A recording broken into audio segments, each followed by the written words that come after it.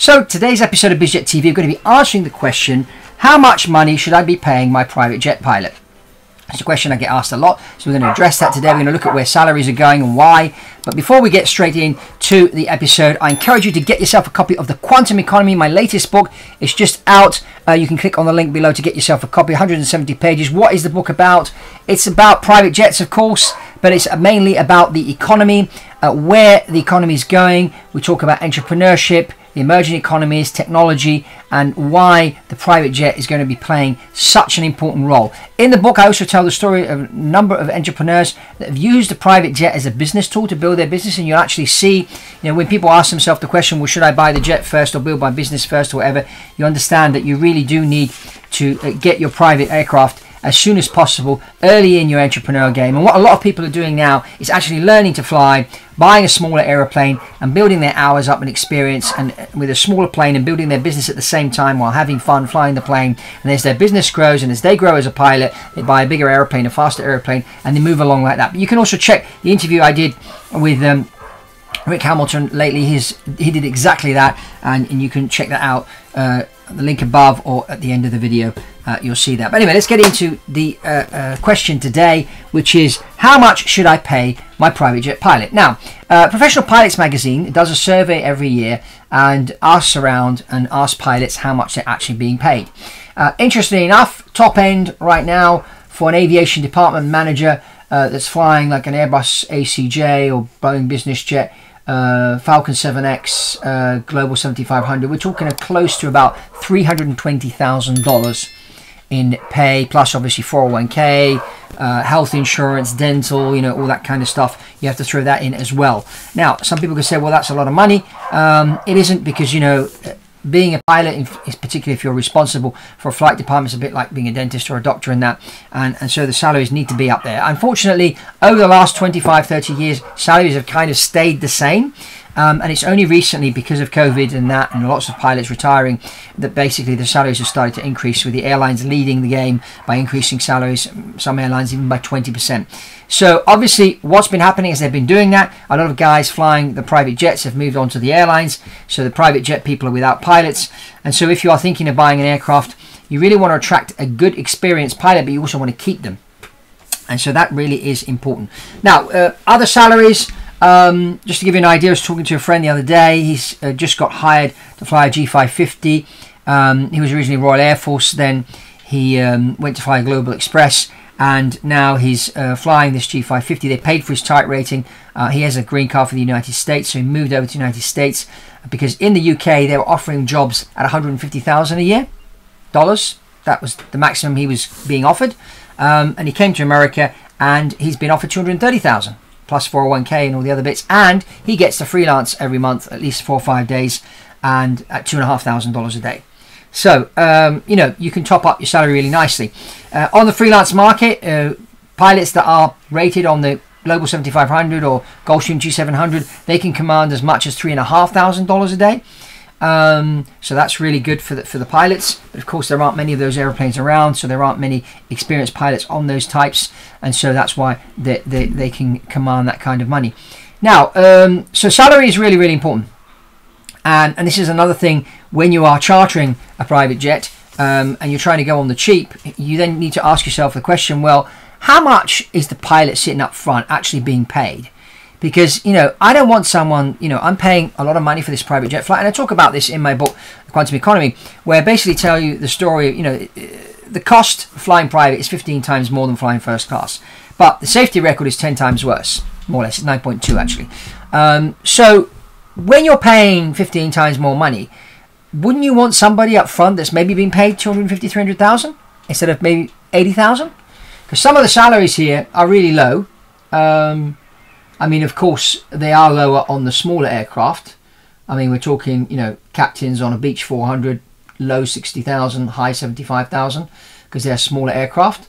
But at the end of the day, in particular, if you're buying your own airplane and you're going to have your own flight department, you want to attract people that are good, people that are professional, uh, get them, you know, give them a good budget for their training, uh, pay them good money, good, give them time off, give them benefits. I, mean, I don't know if you have a company that makes kitchens, give them a free kitchen after maybe two years they've been with the company. You know, incentives and things like that. I know a friend of mine. He um, has been flying for 25, 26 years now. For Silvio Berlusconi, who just passed away, who was a former prime minister of Italy, uh, also uh, the president of AC Milan Football Club and the president of Mediaset, which is a large company in Italy.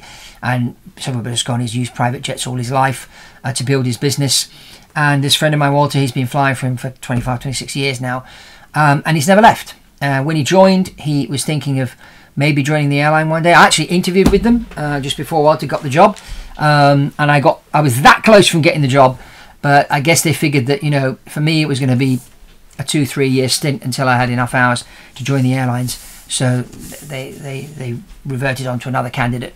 Uh, but at least you know I had had the privilege of, of, having that interview and getting that close, getting the job. Then they, they chose another guy had a bit more experience than me and was more sold on the whole private jet thing than me. I was more airline oriented. I wanted to get that experience in the airlines basically. So uh, the reason why my friend Walter's been with this company so long is because they've always given him 10 days off a month and they've always planned the 10 days in advance and they've always stuck to that. So they've never, you know, called him on his day off or whatever. So he's managed to, you know, get married, raise a family, be home with the kids, but also have a flying career and stay with the company all those years. They've increased the salary every year. They've given them, him benefits and, and whatnot. Um, and so he's been better off staying with uh, Silvio Berlusconi's flight department, which is called Alba Servizi, um, than, uh, for example, going off and flying for the airlines and then maybe the airline goes bust and then he has to change and this and that and the other. Um, so, you know, if you get the right people, uh, and as I always say, always hire the right man or woman and um, then train them to be the pilot like in the case of this this guy that, that flies the G550, he did not have Gulfstream experience. Um, he flew other types, but because he was the right man for the job, the company were willing to pay for his rating. And that's a, a really good investment to make. I mean, maybe it's sixty, seventy thousand dollars, but you know that person will be grateful and they'll probably stay because you've chosen the right man for the job um, and then you've trained him to, to fly that aeroplane. Because at the end of the day, if someone can fly a Global 6000, they can fly a G550. Someone can fly a 737, they can fly a, a Falcon 7X. Uh, I mean, once you've, you've done the bigger aeroplanes, they're all kind of very similar. I mean, they have their differences, don't get me wrong, you do need to be trained. But once you're used to managing a large aeroplane and getting into a smaller one or a similar one, uh, the transition is a lot easier. It's always your first big jet, which is the, the big hurdle to overcome for every pilot. Um, but once you get over that hurdle and you you know you get that airplane into your system, then the next airplane is a lot easier to do.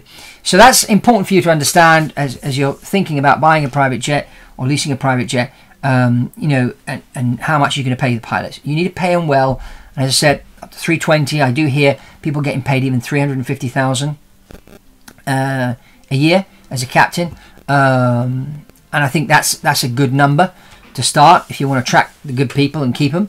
Uh, you put 350 on the table plus the benefits. I mean, they're going to come. They're going to stay. Now, and don't start thinking, oh, but this is a lot of money. But if you're going to spend 20 million on a jet, what's 350,000? Think of it as this guy's running one of your companies. You know, a 20 million dollar company. How much would you pay a CEO of a 20 million dollar company? So that's the way you've got to think. And if you do it that way, you'll get the right people. So that's really, really important. Now, if you haven't got yourself a copy of The Quantum Economy, I just remind you, get yourself a copy, just 170 pages, quick read, and click on the link below for that. And if you want to talk to me and uh, do a one-to-one consultation, uh, I mostly buy aircraft for people, so I represent you. So um, you do a deal with me and I'll go out to the market and what's off market and find the right deal for you. And maybe it's a lease, maybe charter, whatever. But it's important that we have a one-to-one conversation just so I can understand more about your needs. And uh, that's it from me on this episode of BizJet TV. Remember to check out this video here about the Citation M2 owner. Uh, he's interesting um, pilot, uh, but also technologist into AI, and he's had a parallel career as a pilot and as a software and AI engineer. And so you can hear from him and what he has to say, and he talks about uh, his view on single pilot aircraft if it's coming to the airlines. And so I encourage you to check that one out. And that's all from, from Fabrizio Poli here on BizJet TV, and I'll see you on the next one.